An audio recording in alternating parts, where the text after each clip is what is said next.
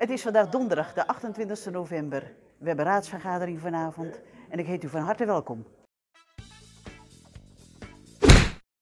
Vanavond in de raadsvergadering eh, niet de stadsvorming, maar dat hebben wij vorige week in de commissie Algemene Zaken hebben we dat wel besproken. Na jarenlang eh, verlies eh, maakt de stadsvorming permanent eindelijk winst. En het CDA heeft ingestemd om de positieve bijdrage in te gaan zetten voor verlaging van de stadsvormingtarieven.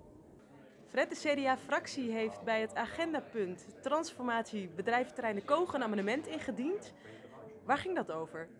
Nou, In eerste instantie gaat het om eh, woningen toevoegen aan het bedrijventerrein De Koog. En aangezien er een aantal ondernemers zich zorg hebben geuit over hun eh, voortbestaan van hun bedrijf en ook eh, dat de woningen te dicht bij hun bedrijvigheid zouden komen, vinden wij dat wij daar iets aan moeten doen. Wij willen ze meer zekerheid bieden. Middels dit amendement hopen wij daar hun meer zekerheid te kunnen bieden. En is het aangenomen? En het is aangenomen met meerderheid. Dat is vaak met een aanname. Vanavond hebben we het bestemmingsplan eh Churchilllaan eh, vastgesteld. Eh, dat is ter vervanging van wijkcentrum Het Nood. Eh, daar komen seniorenwoningen en woningen voor starters en daar zijn we heel blij mee.